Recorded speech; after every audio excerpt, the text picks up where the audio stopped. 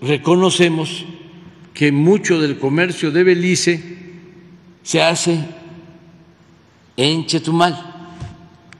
Mucha gente, hermanas, hermanos beliceños, van a Chetumal los fines de semana. Bueno, ahí compran sus despensas, sus mercancías.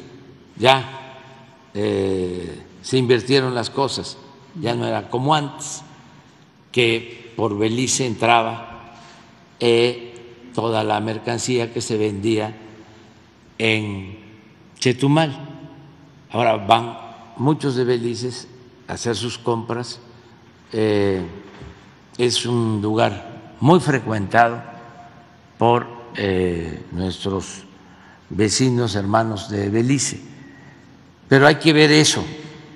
Y desde luego, eh, yo he hablado con el primer ministro de Belice, eh, es una persona extraordinaria, buen gobernante, y tenemos muy buena relación y vamos a seguir hermanándonos para ayudarnos.